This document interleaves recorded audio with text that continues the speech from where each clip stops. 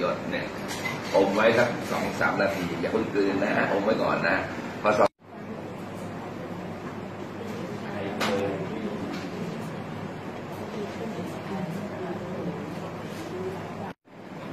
ต้องเอามาตรวจหรือว่าเอามาให้หมอดูหน่อย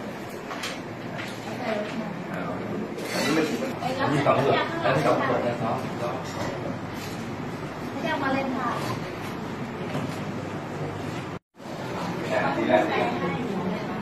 อ๋อนี่แค่เอาไปให้กันนะ เอาไปนะ มาลิ้นโดดหลายเม็ดเขาคลิปใกล้ใกล้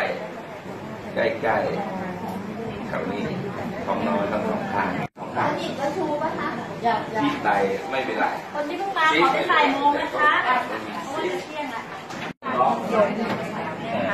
เกิดอะไรลิ้นก่อนนอนจำไม่ได้นะแต่เสือสาข้อตรงนี้มันไม่นะได้คะข้อนี้จำไม่เข้าเดี๋ยวตายเนี่ย เป็นผลเลยข้อคุมระดับน้ำตาลในเลือดไม่ดีปลายเส้นประสาทตามนิ้วนิ้วเท้านิ้วมือจะเสื่อมเออเสื่อเลือดตัวเองไม่รู้เรื่องเลยคนอ้าวไปเลือดออกยาวเดือนสองเดือนสามเดือนข้างหน้าแล้วหมอที่เขาตรวจเบาหวานเขาจะลดยาอีกเราไม่ต้องไปยุ่งเราแค่หยุดเท่านั้น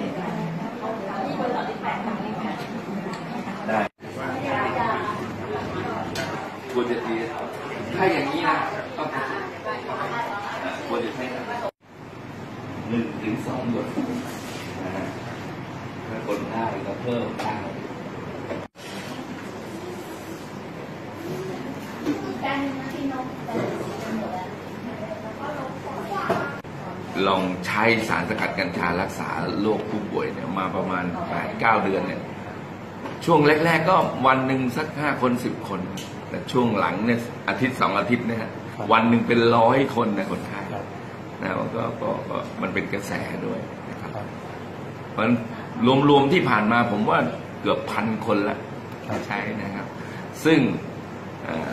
เอ่อหลายคนที่เราติดตามผลการใช้ได้ก็อาการดีขึ้นนะครับที่พี่มาขอน้ำมันกัญชาเนี่ยที่พี่ใช้เนี่ยนะครับอาพอใช้ไปแล้วเนี่ยมันมันมันได้ผลยังไงบ้างครับ ก็ส่วนตัวก่อนหน้าเนี้คือเป็นเป็นโรคเก่า ครับ มันจะมีอาการปวดมากๆคือใต้ข้อพับตรงเนี้ยครับครับ คือที่เราสังเกตง่ายๆ คือพอเวลาเราเข้าห้องน้ำพอเรานั่งปุ๊บพอเราลุกเนี่ยเราจะลุกไม่ได้ มันครัต้บองเอามือยันเพื่อลุกมาเพราะมันปวดมากครับ แล้วพอมาลองใช้ ก็หยดแค่วันละหยดก่อนนอนครับ มันก็รู้สึก